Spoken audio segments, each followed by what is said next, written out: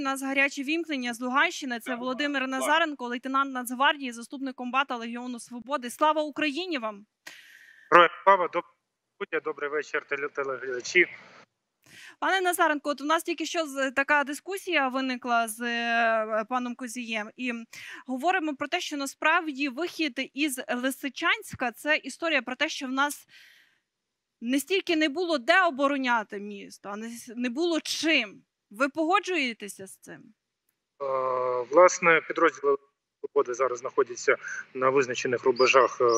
Трошечки ем, ну поруч відносно, але не хочу називати, де знаходяться відповідно до наказу, визначеного ще після е, операції по Сєвєродонецьку.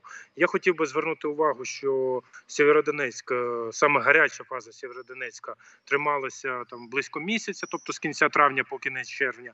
А загалом Сєвєродонецьк обороняли ще почалася оборона Сєвєродонецька після того, як закінчилася оборона Рубіжного. На жаль, ну така, що була мала місце майже повне оточення угрупувань в Рубіжному.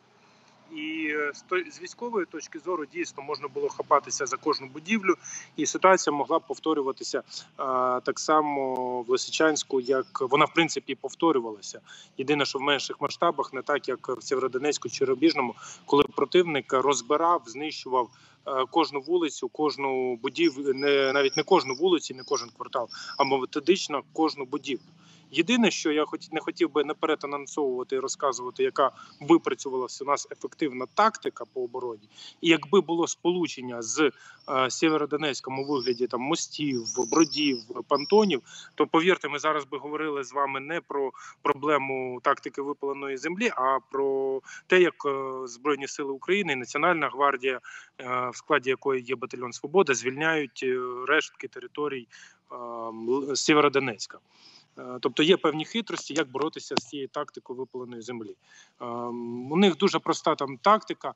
Вони атакують, вони визначають позиції і просто починають день-два розбирати з танків шаленою кількістю боєприпасів, ем, будівлю, будівлю за будівлею, під- підвал за, е, підвалом. Ем, Це дає нам поле для ман- маневру в аспекті того, що е, оборона має бути абсолютно абсолютно динамічна.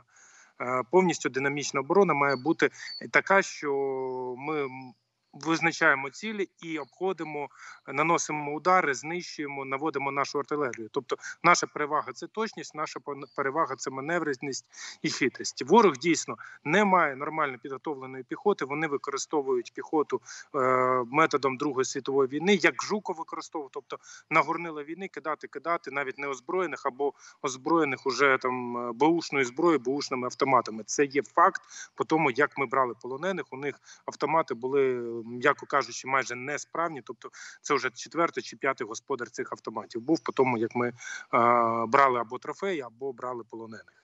І ну в цих аспектах дійсно нам потрібна перевага артилерії, але артилерія не працює, коли є безпосередньо безпосередньо е, зіткнення поруч. Тобто, е, коли це стрілковий бій на відстані в 50 метрів, коли ми їх атакуємо з боку, з флангу, з тилу.